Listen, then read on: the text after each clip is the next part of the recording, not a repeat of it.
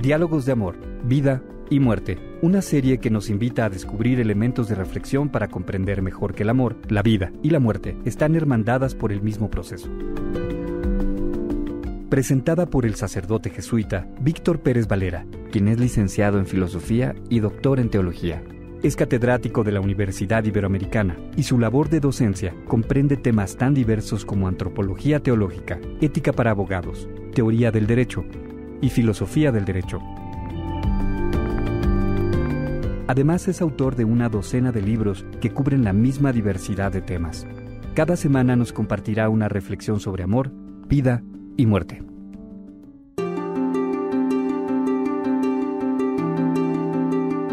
Marcas en el camino de Dag Hammarskjöld. Dag Hammarskjöld denominó a su pequeño diario espiritual Marcas en el camino. Dag Hammarskjöld fue un político muy conocido por sus profundas reflexiones sobre su vida moral y religiosa. ¿Podría decirnos quién fue Dag Hammarskjöld? Dag Hammarskjöld nació el 29 de julio de 1905 en Jönköping, Suecia.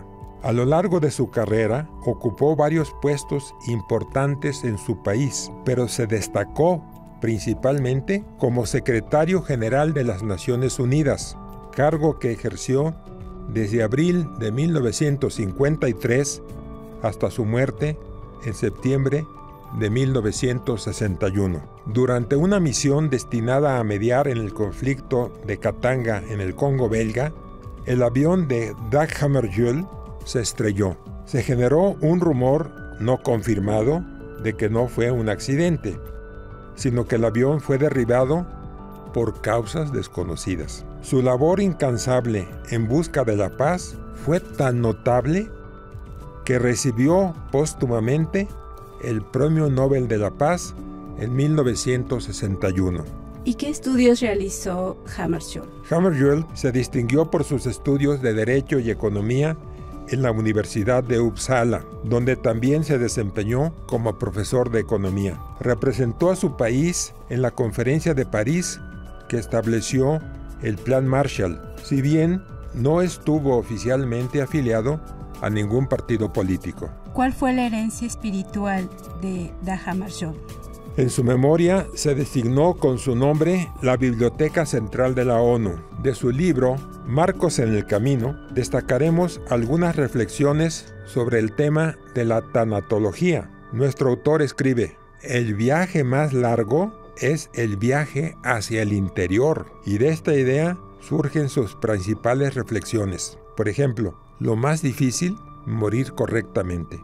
Un examen al que no escapa nadie. ¿Cuántos lo pasan? Tú mismo pide fuerza para esta prueba, pero también benevolencia en el juez. ¿Cuál sería el sentido de su vida?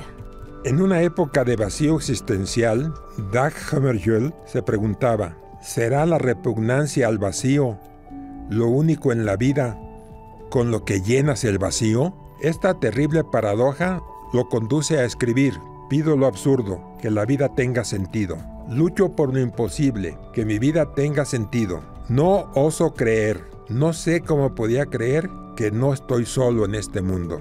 En este contexto, nos brinda una reflexión sobre la soledad.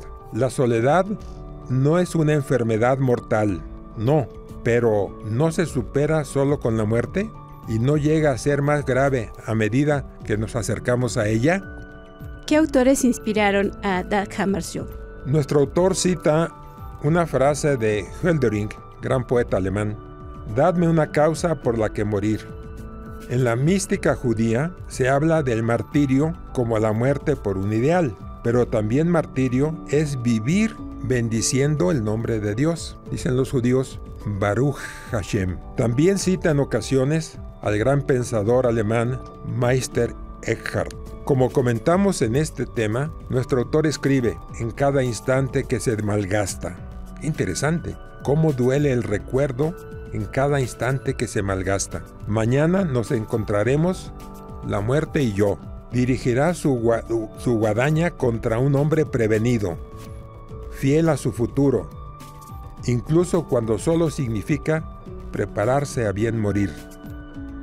También el morir tiene una función social. concédeme la gracia de poder escabullirme de puntitas sin molestar. Para Hammarskjöld la vida tenía sentido. Con lo anterior se subraya la importancia de la vida con sentido. Escribe, descubrirás que subordinada a la vida con mayúscula, tu vida guarda todo su sentido, independientemente del marco que hayas recibido para su realización. Descubrirás que la libertad de la renuncia permanente y de la continua entrega a sí mismo proporciona a tu aspirar de la realidad la pureza y la precisión que son realización de ti mismo. Aprisionar a la muerte es una idea a la que sirves, una idea que tendrá que vencer. Si una humanidad digna de ese nombre ha de sobrevivir. Es esta idea la que exige tu sangre. Sin duda un político notable y con una gran riqueza espiritual.